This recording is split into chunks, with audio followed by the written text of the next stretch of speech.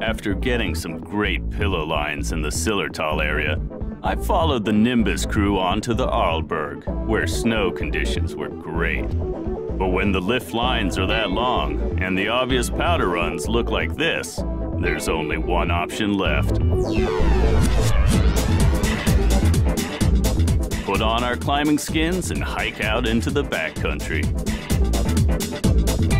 And because of relatively safe avalanche conditions, the crew was able to ski some more serious big mountain lines.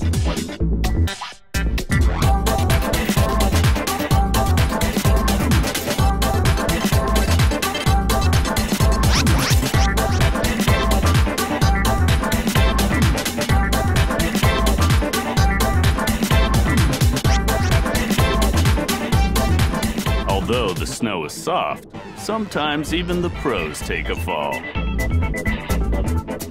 But then they get back up and ski an even better line.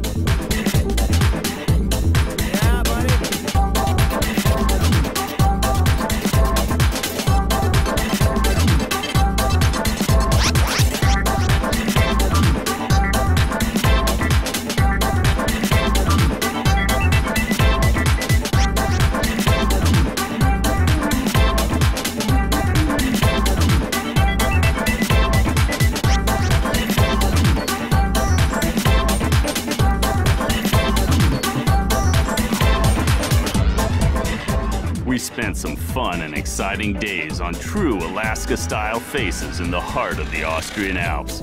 And after the weather got warmer and the snow heavier, the guys packed their stuff and kept on following the snow, wherever it might be.